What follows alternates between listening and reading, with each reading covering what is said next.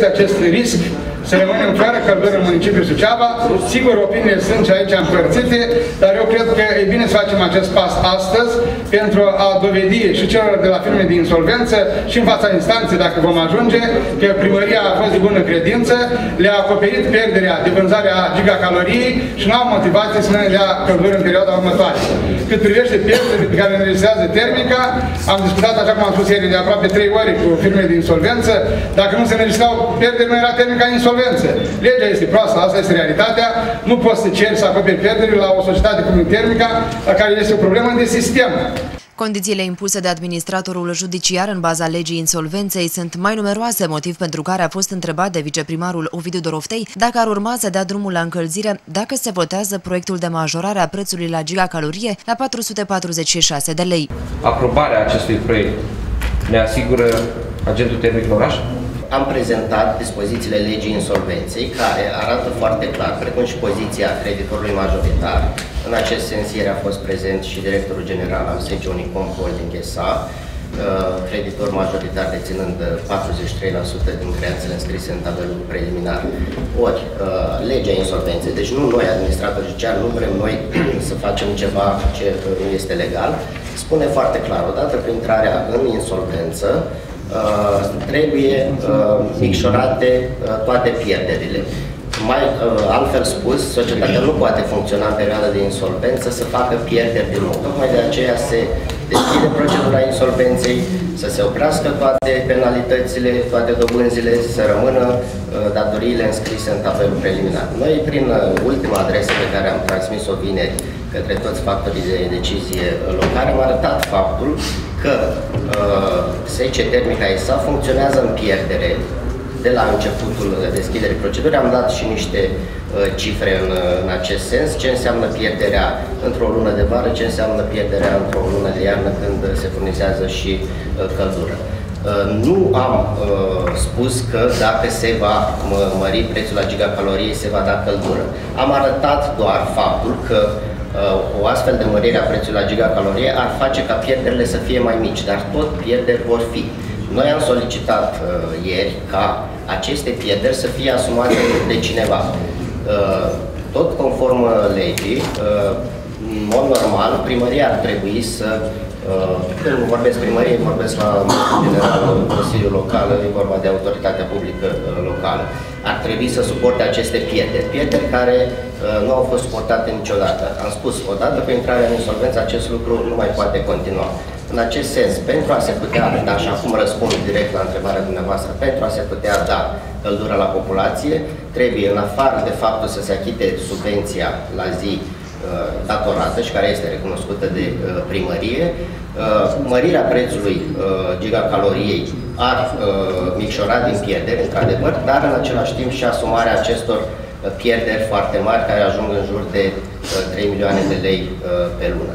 Despre pierdere și vă rog frumos, domnul Matei, evidențiați cu domnul Dumitrescu, cu oricine știți dumneavoastră, puneți în fața executivului și a deliberativului toate pierderile, să discutăm pe ele, să vedem cine le expertizează, dacă le acceptăm, că evident nu putem accepta dintr-o dată să grevăm bugetul municipiului, că nu este interesul nostru să avem un buget al municipiului dărâmat de niște pierderi invocate, susținute sau nesusținute ale termica, nu pot să mă gândesc astăzi cu ușurință să mai acceptăm încă 30-40 de miliarde doar din diferența aceasta de cost per gigacalorie, în condițiile în care anul acesta nu s-a putut face nimic în municipiul Suceava. Și poate că primarul astăzi nu vrea să spună lucrul ăsta, da? pentru că are o altă presiune, are o altă problemă cu gigacaloria, cu căldura. Dar ăsta e adevărul. Anul acesta nu s-a făcut nimic în acest oraș, pentru că nu există bani. Pentru că din urmă au venit presiuni, pentru că tot timpul s-a făcut trimitere și referire la ceea ce înseamnă termica. Pentru viața, pentru existența acestui municipiu. Nu discutăm analizând că sunt 20.000 de beneficiari și încă 10.000 care nu au nimic în comun cu termica, dar susțin acest efort ca și contribuabil, Deși poate ar trebui să o facem și în sensul ăsta. Propunerea consilierilor a fost ca gigacaloria să se majoreze, dar ca populația să plătească aceeași valoare, 185 de lei. Prețul de producție, prețul pentru uh, furnizarea și distribuția agentului termic este 445,6, dar totodată prin nepunerea celui de-al doilea proiect înseamnă că populația rămâne cu 185,4. Și aici, încă o dată, salutăm acest lucru, pentru că nu putem împovăra și mai mult populația care, știm cu toții, nu are bani pentru că Partidul Democrat Liberal este un partid responsabil și de multe ori a luat măsuri care i-a adus în momentul de față în opoziție. Ne asumăm ceea ce vom face astăzi în ședința de Consiliu Local, dar trebuie să discutăm clar cu toții, pentru că nu e loc de politică, aici e loc de administrație în momentul de față. Putem uh, fructifica cum vrem noi politica această dezbatere referitoare la prețul gigacaloriei, dar trebuie să facem tot posibilul ca populația să nu stea în fric. Asta de ajuns în fric până astăzi uh, și va mai sta până pe 15 12, am înțeles. Iar pentru o soluție ca populația să nu stea, chiar dacă unii sau marea majoritate a, a președinților de asociație nu doresc furnizarea căldurii, se putea furniza căldură cu 1-2 octombrie și acolo pe casa scării, punctual unde nu se dorea, se putea închide de la gigacalometru principal. Dincolo de un joc politic ieftin, în care se încearcă, punem astăzi, dăm căldură astăzi, haideți, luați că ați promis lapte și miere. Orice politician a promis lapte și miere. Dar asta nu ne face să fugim de responsabilitate, asta nu ne face să luăm decizii pripite și să îngropăm cu totul municipiul fără a avea nici măcar certitudinea că mâine vom avea căldură. Nu ne poate pune în postura asta, domnilor consilieri. Deci eu zic că, uh, și aici uh, vreau să spun că sunt de acord cu domnul Așolț, că ar trebui găsită azi o soluție pentru populația să stă în fric. Ne întâlnim mâine, nu văd soluții uh, radicale, să întâmple până mâine ceva, sau până poi mâine. Eu zic că dacă aprobăm azi prețul ăsta, de mâine nu se furnizează căldură, nu e nicio pierdere pentru municipalitate. După mai bine de o oră de dezbateri, ședința a luat o pauză pentru consultări în cadrul grupurilor de consilieri. La votarea ordinii de zi a ședinței extraordinare de Consiliul Local, ordinea cu un singur punct nu a fost validată. Consiliul Consilieri au fost convocați pentru alte dezbateri vineri și au părăsit sala.